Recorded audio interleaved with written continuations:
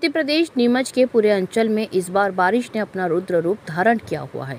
जैसे नीमच ज़िले के मनासा रामपुरा तहसील में इस वक्त जोरदार बारिश हो रही है। इस समय रामपुरा तहसील के चचोर में भी भारी बारिश हो रही है। यह बारिश 26 अप्रैल 2023 को साढ़े तीन बजे से शुरू होकर लगातार एक घंटे तक हुई, जो ग्राम चचोर में बारिश ने अपना रुद्र रूप धारण कर लिया।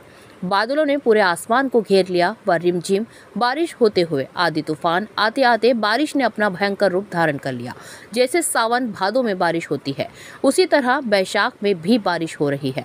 जैसे कि आप वीडियो क्लिप में देख सकते हो, आखिर 12 माह तक बारिश होती रहेगी तो सावन भादों में क्या होगा? ऐसा कई सालों में देखने को मिलता है। कि हर माह में बारिश हो रही है और हर एक माह में बारिश अपना रौद्र रूप दिखाते आ रही है। जबकि ग्रंथों और पुराणों में देखा गया है कि सिर्फ़ बारिश के चार माह होते हैं, जहाँ भरपूर बारिश का पानी मिलता है और उसी पानी की वजह से किसानों की सारी फ़सल लहराती है।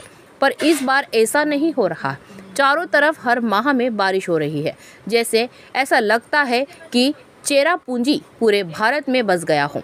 बादल घूम फिर कर वापस मध्य प्रदेश की ओर रुख कर लेते हैं और चेरापूंजी की तरह ही बारिश करके निकल जाते हैं।